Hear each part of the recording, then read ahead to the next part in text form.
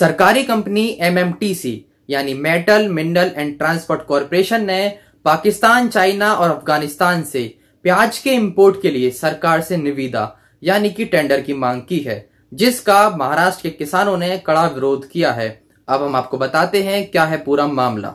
हमारे देश का किसान कोई फ़सल उगाता है, जिसका उसको बाज़ार में सही दाम नहीं मिल पाता तो किसान नुकसान में जाता है। फिर किसान दोबारा फ़सल करने के लिए किसी साहूकार या किसी बैंक से कर्ज लेता है और फिर उसका दोबारा से नुकसान में जाने की वजह से किसान कर्ज में डूब जाता है। और किसान के साथ ऐसा दो तीन बार होने के बाद जो किसान हमारे लिए धरती की सिंचाई कर कर अनुगाता है, वो देश के लिए शहीद हो जाता है। नेशनल क्राइम रिकॉर्ड ब्यूरो के हिसाब से भारत में फार्मर सुसाइड रेट में महाराष्ट्र सबसे नंबर वन पर है। और जो खबर हम आपको बताने वाले हैं, वो भी महाराष्ट्र की ही है। खबर ये है कि महाराष्ट्र के स्वाभिमानी सेहतकारी विभाग जिनको नहीं पता कि स्वाभिमानी सेहतकारी क्या है, वो जान लीजिए कि ये एक किसान यूनियन है जो कि महाराष्ट्र और कोल्हापुर में ऑपरेट होती है।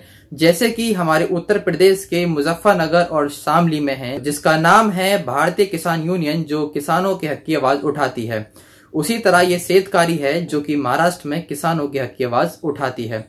तो सेतकारी के अध्यक्ष ने सवाल किया कि जो खरीफ की फ़सल हमारे यहाँ डेढ़ से दो महीने में कटने वाली है, आप उसे बाहर से क्यों इंपोर्ट कर रहे हैं? प्याज खरीफ की फ़सल है, जिसे अप्रैल मई में बोकर नवंबर दिसंबर में काटा जाता है। वहीं उन्होंने सवाल पूछा कि क्या हम पाकिस्तान से भी गैर गुजरे हैं? क्या आपकी दुश्मनी हमसे पाकिस्तान से भी ज़्यादा है, जो आप हमसे न लेकर पाकिस्तान से प्याज मंगा रहे हैं? वहीं एपीएमसी यानी एग्रीकल्चर प्रोड्यूस मार्केट कमेटी के अध्यक्ष ने कहा कि सरकारी कंपनी एमएमटीसी के इस फैसले से किसानों को बड़ा नुकसान होगा, क्योंकि उसके दो कारण हैं।